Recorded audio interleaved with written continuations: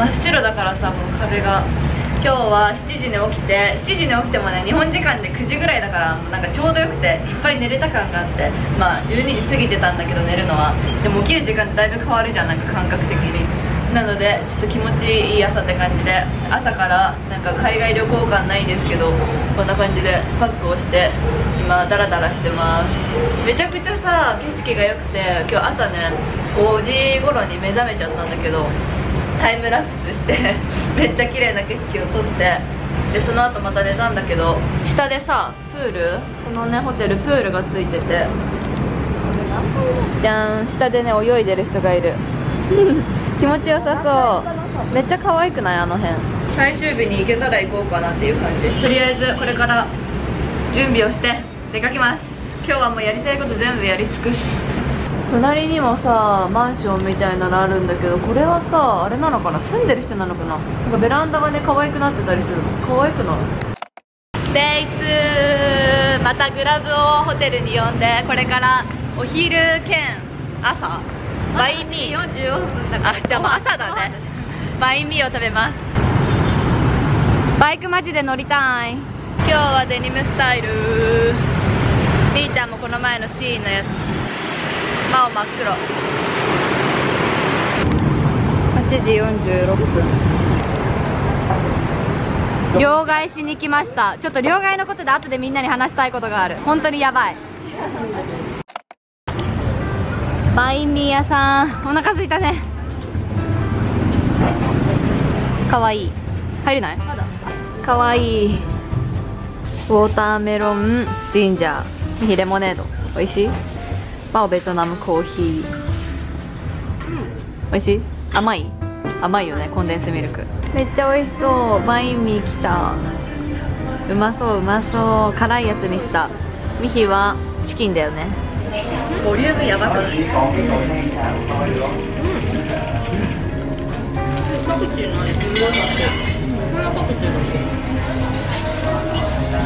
まっ入っ。てるうまい。めっちゃうまいうん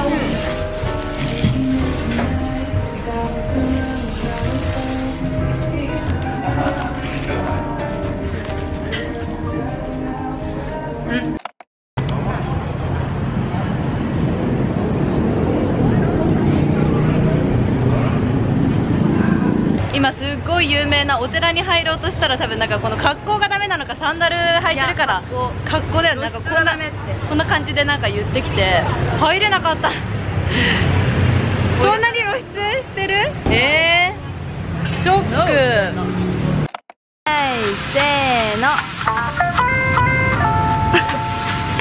謎すぎ。ピンコムセンター。デパートみたいな感じかな。ザラとか H&M とかもある隣には無印とかユニクロもある。この辺栄えてる。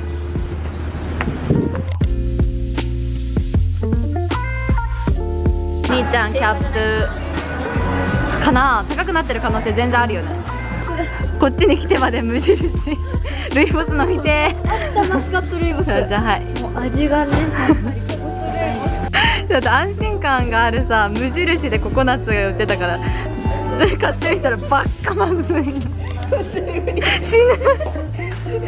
そして安定のマスカットうんマスカットルイボスはマジで美味しい。ちょっともう安心するわこの味。お土産屋さん。あいい匂い。いい匂いめっちゃいい匂い。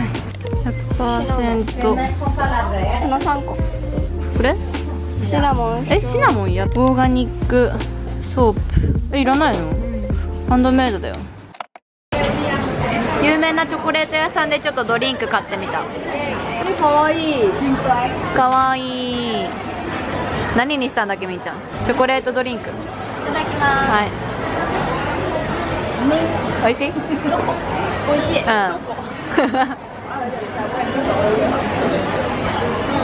美味しい？ちゃんと美味しい？ちゃんと美味しい、うまい。ちゃんとしたチョコって感じ。全然ココナッツより。ココナッツより。あれはやばかった。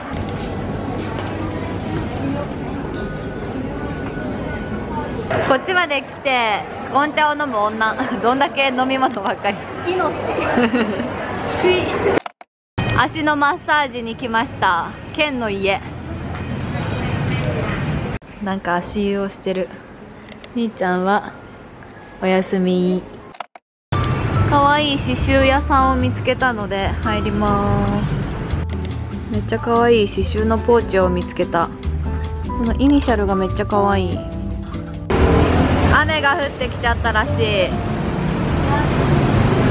確かにめっちゃ分厚い雲かかってるもんね。ねめっちゃお香の匂いする。お香だ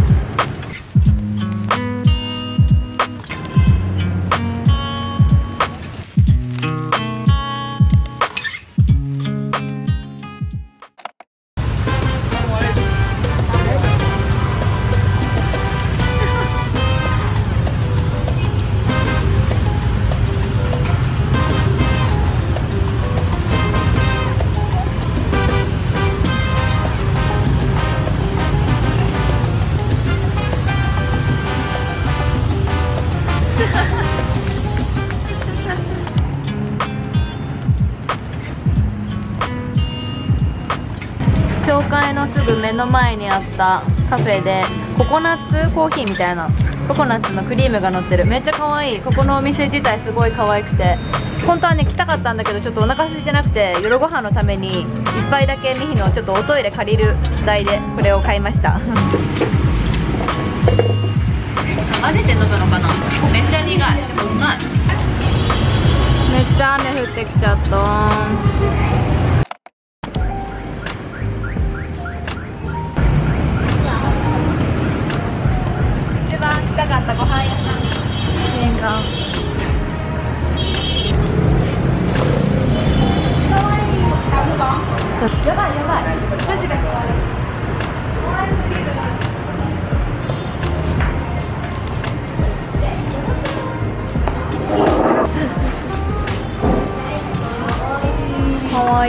みーちゃんは疲れすぎてお腹空いてないらしい。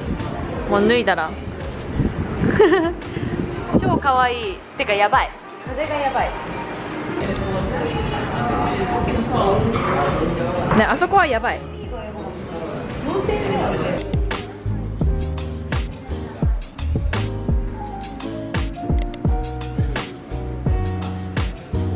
ただきます。えこれ食べるのねいよいよいよこのチャーハンは絶対に美味しいめっちゃ美味しいようん。うまっめっちゃうまいおかゆみたいなの何なん。だろう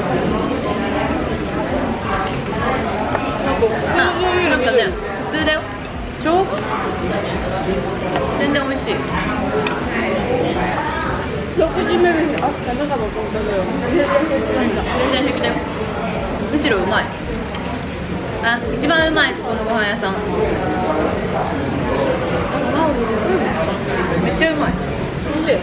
しい念願の焼き春巻き。最高。これと違う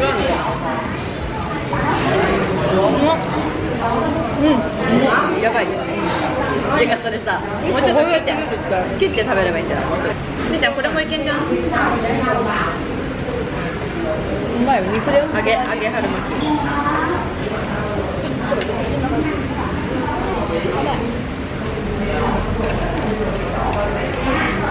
うんまっ。めっちゃうまくない？めっちゃうまい。やばい。乾杯ミヒも飲めるよこれ。ストロベリーうん置いてうま。っうまっ普通にリプトンって感じ。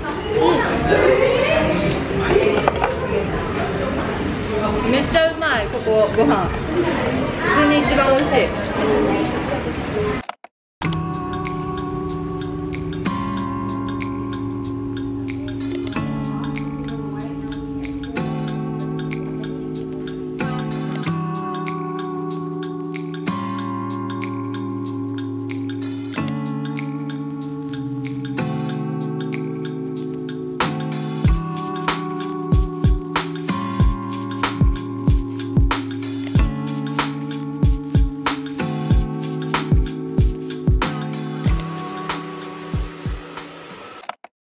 ンホホテルに戻ってきました。今日2日目でちょっと話したいことがたくさんあるんだけど今スパに行って帰ってきて10時前こっちの時間で10時あじゃあ9時39分だから11時39分ぐらい日本時間。で結構夜になっちゃってるんだけどまず今日行ったスパがなんかね顔と頭やってくれたんだけど超良くて本当はすごい有名なミュウミュウスパっていうとこに予約なしで行ったんだけどなんか受けたいのが今日あの足とかやったから顔フェイシャルとかこの洗髪してほしかったんだよね。あのお風呂入るのもめんどくさいし。急に行ってやってもらえるかこう確認したらやってもらえなくてでそのねすぐ近く Miu Miu Spa 5っていうところに行ったんだけどすぐ近くになんかの読み方わかんないんだけどさっき写したノアスパみたいなとこがあってそこのねスパのまず匂いもめちゃくちゃいいし本当にお姉さんも可愛いしめっちゃ良くて評価もすごい良かったから入ってみたらそう良くて多分1人3500円ぐらい3400円とかで80分かな？でこう髪の毛とかフェイシャルをやってくれるんだけどもうフェイシャルもすっごい丁寧だし何段階もいろんなことやってくれて多分なんかクレンジング系とかスクラブ系とかトリートメントしてパックしてでパックしてる間に洗髪してくれてでなんかこうちょっと爪を立てながらすごい優しくね洗ってくんだけど髪の毛サラサラになるし頭超スッキリするし何より顔がすっごいスッキリするしすべすべになるしあの角質全部取れた感じ。角質ケアなのか分かんないけど何してんのかちょっと分かんないけど全裸が良くてあそこのスパがとにかくおすすめっていうのとあとさあのー、両替のねことでちょっと言いたいことがあって空港で空港着いてとりあえず現金ないとやばいから1万円だけね買えたの。で空港でさまさか詐欺られるとは思わなくて空港でねあのタクシーは乗っちゃダメっていうかタクシータクシー言ってくる人は絶対こう乗っちゃダメだよっていうのは知ってたんだけど両替は別に大丈夫だと思ってしたのでこういくらもらったかないくらで両替するよっていうのはもちろん提示してもらってじゃあこれ全然あの300円ぐらいしか手数料取られないんでね1万円だから9700円ぐらいもらえるみたいな感じだったから全然いいじゃんと思ってでやりました。数えなかったんだよね。それがいけなくてなんかふとグラブタクシー乗ってる時に昨日いくら使ったんだろうねみたいな感じで両替する前にあといくら残ってるんだろうって数えたらもう絶対に計算上使ってないのに全然足りないのね持ち手が。で2000円ぐらいもうそこで絶対詐欺られたなっていうのに行き着いて調べてみたら空港で詐欺られるらしくて。確かにめっちゃこう手招きしてくるしもうあの言っちゃ悪いけどちょっと詐欺しそうな人だったの。ちょっと怖い。めっちゃ怖かったのね。だからそれ本当に気をつけてほしい。みんなに。空港でさまさか普通にこう何て言うの？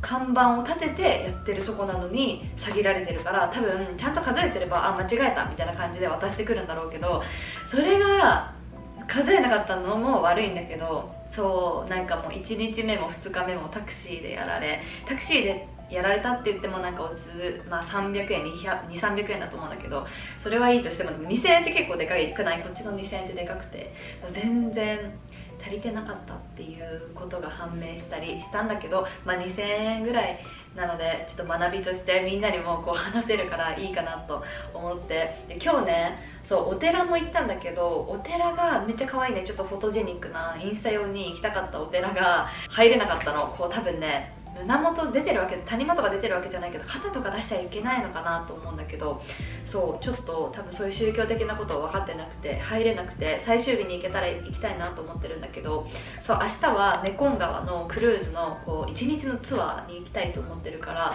明日は行けなくて最終日に行きたいなっていう感じで本当はそこ行けたら今日いろんなとこ行きたかったところ行けあの全部動画にできたんだけどそう行けなかったよっていう感じであとねご飯屋さんとかでこう話をしたい時に著作権がフリーじゃないのがガンガン流れちゃってたり普通に洋楽が流れてたりするからそう話せなかったりあと外で撮ろうとしてももうバイクがねこう普通に歩道とかも走ってくるから危なくて前見てないといつでもあの道とかも結構ガタガタだったりするから危なかったりして全然思うように動画も撮れてなくてそうまたこの2日目もあのベッドで帰ってきてからのまとめになっちゃってるんだけどあと言いたいことがあった。あのね夜ご飯行った店マジで美味しいしマジで安いしもう本当に美味しすぎて絶対に行ってほしい。もし来たらね。あそこはもう雰囲気も何もかもやばい。味も美味しいしあのとっても良かった。だけどあのバインミーのお店あそこめちゃくちゃ美味しいんだけど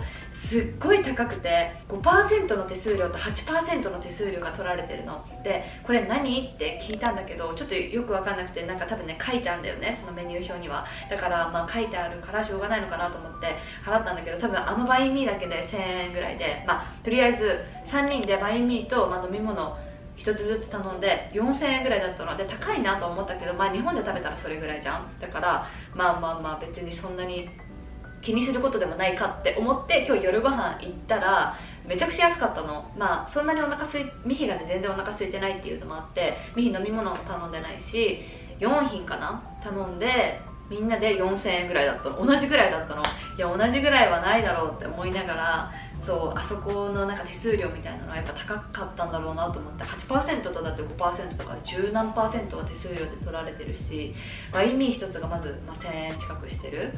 で本当はねバインミーのもっと行きたかった店があったんだけどそっちはもうちょっとねローカルなお店で多分こう席とかもないしもっとね全然安くこうあの現地の人も行くようなとこだけどででも味は本当に美味しかった。めちゃくちゃ美味しくてなんかいろんなオプションもあるし楽しかったから全然いいんだけどただあの夜ご飯のクオリティお店のクオリティとか見てからあそこの値段はやっぱ高かったなと思ってそれを伝えたかった。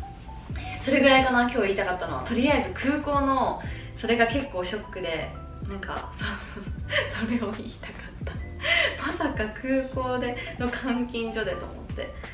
んなことがあるんだね。あとは今日何したっけな？そんなもんかな？あのああれか教会か。教会は結構さみんな写真撮りに行くと思うんだけどバイクの通りが結構半端なくてあの渡るのとかも結構危ないと思うんだけどでもね2日目にしてバイク渡るのめちゃくちゃ慣れてきて全然怖くなくなってむしろね楽しんでるっていう感じでやっております。ちょっとまとめな感じでまた最後喋っちゃってるんだけど。そんな感じで今回は2日目 Day2 でした。明日はメコン川クルーズに行ってきます。って感じでもうベトナム来たらやっぱねスパが一番っていう感じで今日はおやすみなさい。また明日。